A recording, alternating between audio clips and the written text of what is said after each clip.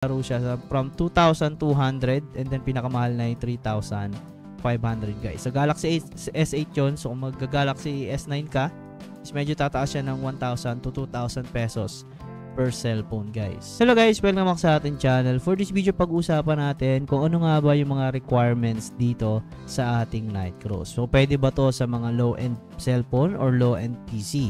Kasi minsan yung nakalagay dyan is yan na yung pinaka-minimum. Pero kung itatry mo naman, hanapan ng paraan, is mararan mo yan guys. Okay, so yun i-share ko sa inyo ngayong video natin. So yung client niya is napansin ko parang ano lang, copycat lang din ng Balope client. Okay, pati yung security niya is katulad lang din dun sa Wimix ng Riders of Icarus. Okay? So meron din siyang uh, website login and then so pag inex kasi natin to, so game start natin. So lalabas din yung launcher.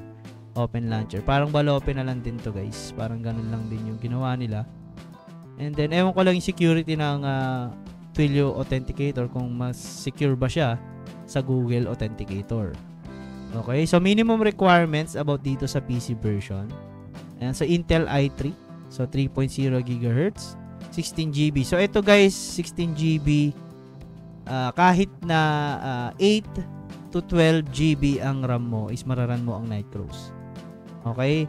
So masyado nang mataas yung 16 GB, dapat nilagay nila dito is 8 GB pataas. Siguro nilagay nila yan guys kasi para ma-experience nyo yung ganda ng ano, ng flow ng gameplay niya.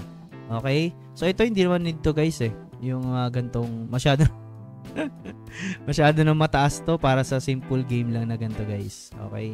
So Nvidia, uh, Nvidia RTX 3080.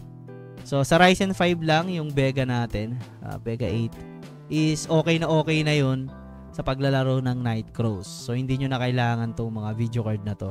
Okay? Lalo na kung isa lang naman yung lalaroin nyo So Ryzen 5 na lang kayo, even Ryzen 3. So na-try ko na guys, gumagana yung Nightcross. Okay? Naglo-load yung Nightcross at nakaka uh, sa Korea yun ha guys ha. Nakaka skill naman ng maayos sa Ryzen 3 guys. Okay? So Windows 10 64-bit. Okay, so tatama naman to. So minimum na to. Wala naman ang Windows 7 ngayon.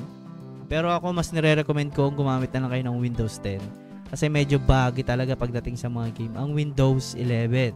So hindi pa nga namin masyadong na-edit 'yan. So sa VMware, mas okay kami dito sa Windows 10, guys. Okay? So any DirectX naman dito is pwede. 11 or 12, bahala na kayo, guys. Wala naman din halos pagkakaiba 'yan. So HDD 50GB or above. SSD, so mas uh, nire-recommend ko SSD ang gamitin nyo. Fast loading. Kung meron kayong uh, NVMe, mas maganda yun guys. Para mas experience nyo yung uh, fasting uh, na load. Search Nightcross on the Google Play Store or App Store and download the application. So ito yung sinasabi ko lagi sa live guys. So 4GB lang na Android phone is mararan nyo na. Sa iOS, uh, 3GB lang kasi maganda naman talaga ang iPhone. So, iPhone 11 or above, grabe naman. So, iPhone 8 lang guys, pwede na eh. Nakakaran na ng uh, Night Cruise. Sobra naman tong minimum. So Galaxy S8 dahil nga nasa Korea tayo guys. Uh, Korea game ang ating nilalaro. So pinopromote din nila syempre yung brand nila na Samsung. So magkano ba yung mga Galaxy S8 na yan para sa mga farmer natin ng Night Cruise? So sa ngayon sa marketplace dito sa abot ng aming range is naglalaro siya sa from 2,200 and then pinakamahal na yung 3,000 500 guys. Sa Galaxy S8 yun. So kung mag-Galaxy S9 ka, is medyo tataas siya ng 1,000 to 2,000 pesos per cellphone guys. Okay? So mas maganda yun gamitin nyo. Kasi safe yung mga Samsung na yan, lalo na kahit naka-direct saksak yan. Although may issue naman yan, nagbe-burning. So hindi nyo naman na kailangan yung guys kung perform nyo lang naman. Maganda is safety yung pinaka-battery niya. So hindi yan basta-basta puputok. Mamamatay lang yan pag sobrang init pag nakasaksak. Sa the pre-download date may be vary per platform due to application release schedule. So yan nga, na-download na natin siya. Yung game client natin, ayan. So kailangan nga niya ng uh, hindi 50 GB guys, nasa 60 ang uh, allocated niya. Okay, the launcher is already running pala. So magtira kayo ng mga 60 GB sa SSD nyo or HDD nyo guys. Okay? And then shoutout muna sa ating uh, mga tropa dito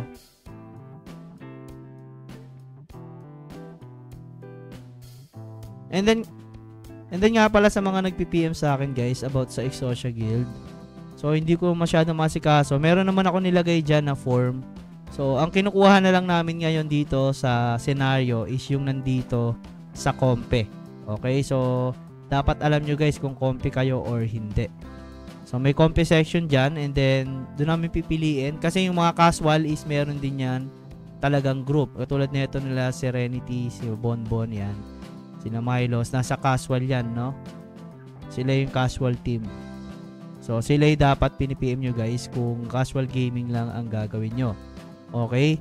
So, kung competitive, so kami talaga yung i-PM nyo guys. Okay? So, competitive, hindi naman kailangan na sobrang grabe mo gumastos. Basta magdaan ka lang ng time mo sa game. So, parang buhay mo na yung game. De, joke lang. Yun lang guys. Uh, sana um, magkaroon kayo ng magandang team dito sa Nightcrows at naway makapag-farm kayo ng maayos. So yun lang muna about for today's video. I hope nabigyan ko ng magandang paliwanag about dito sa mga minimum requirements. So again guys, hindi to uh, nakatali lang sa mga ganitong uh, specs. Okay? So pwede kayo mag-try out. Katulad nito, sobrang taas na yung 16GB sa gantong game lang. Okay? So 8GB will do na. Okay? And then Ryzen 3 okay na okay siya guys. Okay? So dito naman sa DirectX, wag nyo nang pagtalunan yan kahit anong gamitin nyo dyan guys. Depende sa CPU nyo or GPU nyo na supported. Okay? Sa cellphone guys, bumili na kayo ng mga second hand phone. Wag na kayong bumili ng mga China brand. Kung maglalaro kayo ng mga hardcore game, laro lang galing sa Koreas. Kasi sinusuportahan talaga nila dyan yung Exynos, yung mismong CPU nila guys. Okay? So again guys, Gatski po maraming salamat. Peace out.